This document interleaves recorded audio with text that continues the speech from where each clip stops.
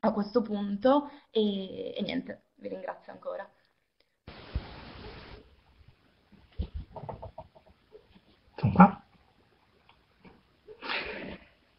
Mm, allora, come eh, diceva all'inizio la Clara, come ha detto Maura, eh, in realtà negli ultimi anni mh, mm, si sono presentati sullo scenario politico globale due grandi movimenti che si sono in qualche modo connotati ehm, in continuità con esperienze precedenti, però come esperienze che si muovevano già nello spazio politico globale.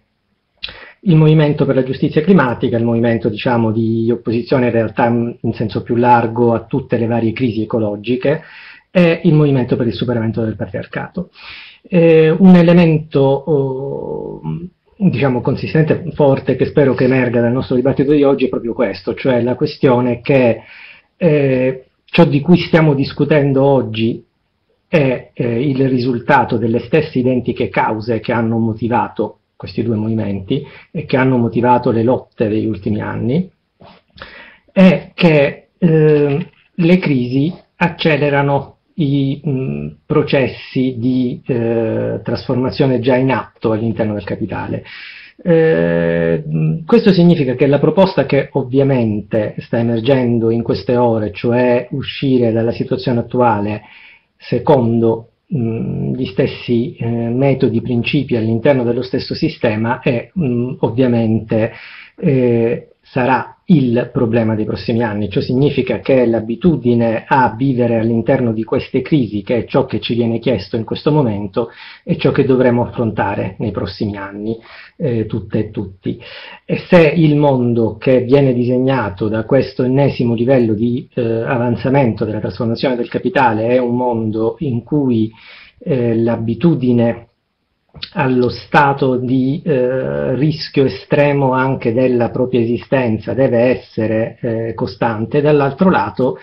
è evidente che questa abitudine coincide, eh, come in questi mesi in realtà hanno detto molte pensatrici, molti pensatori, con l'idea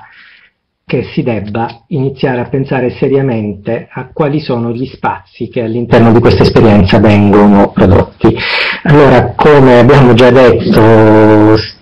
siamo ancora qui, siamo qui in aperta continuità con l'esperienza del climate camp, con l'esperienza delle lotte degli ultimi anni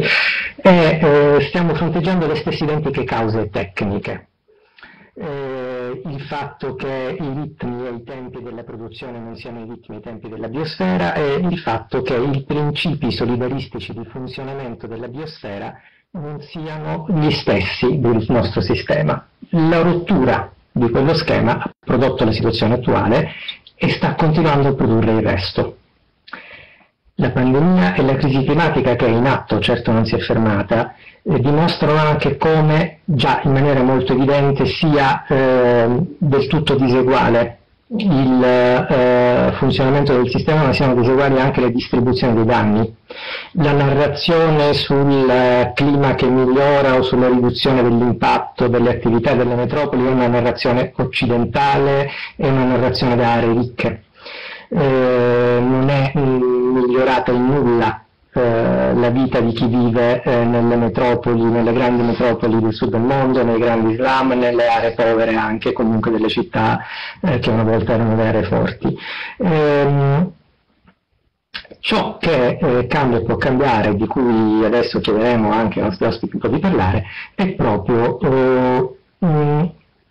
la capacità e la possibilità che all'interno di questo schema si aprano nuovi spazi e che eh, si apra una specifica eh, rivendicazione. Se le crisi accelerano i problemi, ciò che sta emergendo anche nella nostra esperienza,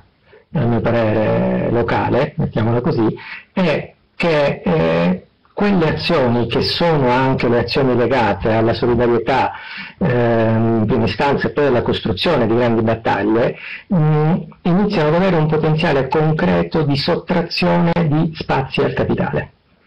e possono diventare in maniera concreta e precisa eh, luoghi di confronto in cui mh, mm, iniziare a fare cose che sono state fatte in varie esperienze eh, delle lotte nel sud del mondo, cioè di mh, costruzione concreta eh, di nuove relazioni interne ma anche di nuovi modelli. Allora, inizierei dando subito la parola a Raul Zibecchi, eh, che conoscete, giornalista, militante, uno dei pensatori più interessanti del dibattito internazionale degli ultimi anni, a mio parere. Ehm, coinvolto anche materialmente in tante lotte contro l'estrattivismo che ha sostanzialmente contribuito a definire come esperienza eh, tecnica, come, anche come categoria, eh, nei grandi processi di liberazione del Sud. Eh, Raul eh, ritengo a questo punto che eh, gli abbiamo chiesto proprio di intervenire su questo legame, sulla situazione attuale.